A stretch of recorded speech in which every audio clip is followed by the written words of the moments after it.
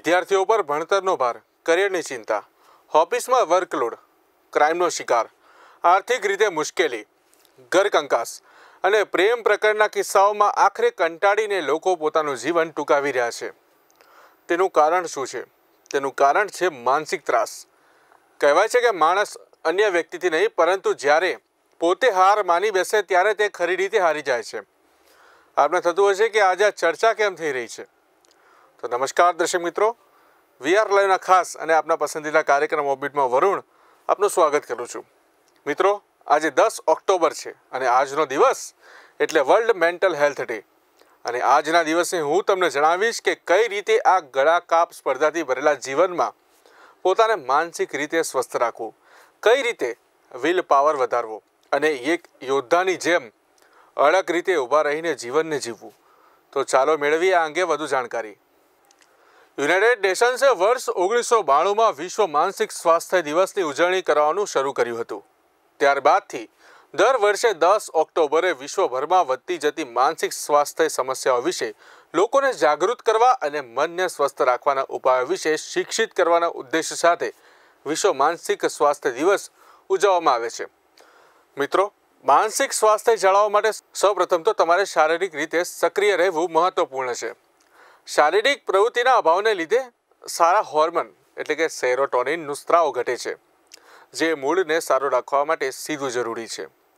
સેરોટોનિનનું ઘટવાથી તમારામાં સકારાત્મક લાગણીઓનો અભાવ ઊભો થશે, જેથી નિયમિત યોગ અને વ્યાયામને દિનચર્યાનો ભાગ બનાવીને આવા જોખમો ઘટાડી શકાય છે.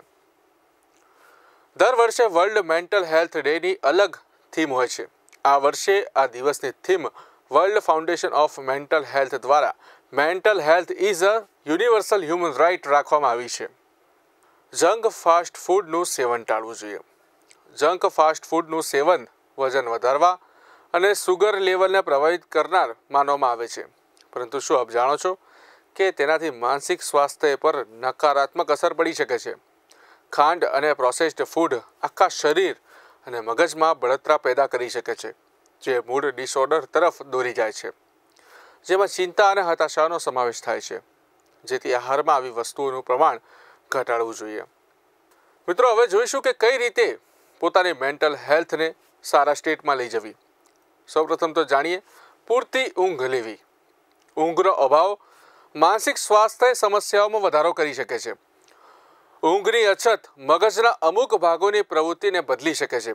જો તમને ઓછી ઊંઘ આવે છે, તો તે તમારા નિર્ણયો લેવાની અને સમસ્યાઓ હલ કરવાની, તમારી લાગણીઓ અને વર્તનને નિયંત્રિત કરવાની ક્ષમતામાં પણ ફેરફાર લાવી શકે છે. બધા લોકોને દરરોજ રાત્રે ઓછામાં ઓછા છ થી આઠ કલાકની ઊંઘ લેવાની ભલામણ કરવામાં આવે છે.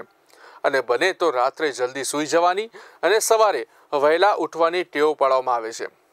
કારણ કે સવારે જો વહેલા ઉઠવાથી અને કસરત કરવાથી તમે સમગ્ર દિવસ દરમિયાન પોતાને એનર્જેટિક અનુભવી શકો છો. વર્લ્ડ હેલ્થ ઓર્ગેનાઇઝેશનના અહેવાલ મુજબ આંતરરાષ્ટ્રીય સ્તરે આઠમાંથી એક વ્યક્તિ માનસિક વિકારનો શિકાર છે. ખાસ કરીને ઓછી આવક ધરાવતા અને મધ્યમ વર્ગની આવક ધરાવતા દેશો. મોટાભાગના લોકો કોઈને કોઈ કારણસર માનસિક સ્વાસ્થ્ય સમસ્યાઓથી પીડાય છે. કેટલાક લોકો આ વિષય પર ખુલીને વાત કરતા પણ શરમાતા હોય છે.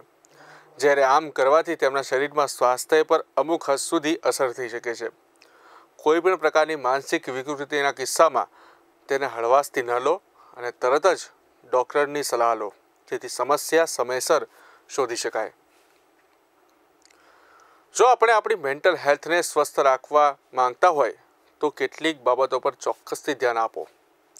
જેમ કે કસરત કરો, પુસ્તક વાંચો, તમારા મિત્રો અથવા પરિવાર સાથે સમય પસાર કરો. તંદુરસ્ત આહાર લો. સારી ઊંઘ લો અને દવાઓ અને આલ્કોહોલથી તો દૂર જ રહો. કારણ કે તે તણાવ અને હતાશાના લક્ષણોને વધુ ખરાબ કરે છે. વિટામિન ડી પૂરતી માત્રામાં સૂર્ય સ્નાન કરવાથી મળે છે. આ વિટામિન સેરોટોનિન ઉત્પન્ન કરવામાં મદદ કરે છે, જે એક ન્યુરો ટ્રાન્સમીટર છે, જે મૂડ અને રિલેક્સેશનને નિયંત્રિત કરે છે. જો આપ દિવસભર થાકી ગયા હો, તો સૂતા પહેલાં ધીમા અવાજે રિલેક્સિંગ જે મ્યુઝિક છે, તેને સાંભળો. તે ખૂબ જ ફાયદાકારક છે. તે મૂડને આરામ પણ આપે છે અને મનને પણ શાંત રાખે છે, જેના કારણે તમને સારી ઊંઘ આવશે અને તમે બીજા દિવસે ઉર્જાવાન અનુભવશો. સામાજિક જોડાણ એ તણાવ દૂર કરવાની અસરકારક રીત છે. આમાં તમે મિત્રો, પરિવારના સભ્યો અને પરિચિતોને મળો છો, જે ખૂબ જ સારું લાગે છે. જો મળવું શક્ય ન હોય, તો તેમની સાથે તમે ફોન પર જ વાત કરી શકો છો. જો તમારા વ્યક્તિત્વમાં થોડીક આવડત છે તો જ્યારે તમને ફ્રી સમય મળે, ત્યારે તેને સુધારવાનો પ્રયાસ કરો. કેટલાક લોકો ખૂબ જ ક્રિએટિવ હોય છે, પરંતુ ઘણી વખત તેઓ પોતાનો બધો સમય ટેન્શનમાં વિતાવે છે. જો તેઓ પોતાના મનપસંદ કામમાં વ્યસ્ત રહે, તો સારું રહેશે. તમે તમારા કામ અને પરિવારની માંગને જેટલી વધુ કાર્યક્ષમતાથી હલ કરી શકશો, તમારા તણાવનું સ્તર પણ એટલું ઓછું હશે. ઘણી વખત તમારી સમસ્યા અન્ય લોકો સાથે શેર કરીને ઉકેલ મળી જાય છે. તેથી તમારા જીવનસાથી નજીકના મિત્રો અને પડોશીઓ પાસેથી મદદ માંગવામાં ડરશો નહીં.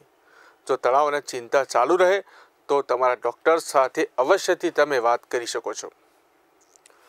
તો મિત્રો, આપણે જોયું કે વર્લ્ડ મેન્ટલ હેલ્થ ડે કેમ ઉજવવામાં આવે છે અને તેનું મહત્ત્વ શું છે? જો આપને અમારો આ પ્રોગ્રામ ગમ્યો હોય તો ચોક્કસથી યુટ્યુબ અને ફેસબુક ઉપર જઈને અમારી ચેનલ લાઇક સબસ્ક્રાઈબ અને શેર કરી શકો છો. જેથી આપનો પરિવાર આપણા મિત્રો અને આપણા સગા સંબંધીઓ પણ સ્વસ્થ રહે. તો મને રજા આપશો. વધુ આવી જાણકારી મેળવવા માટે જોતા રહો વીઆર લાઈવ. નમસ્કાર.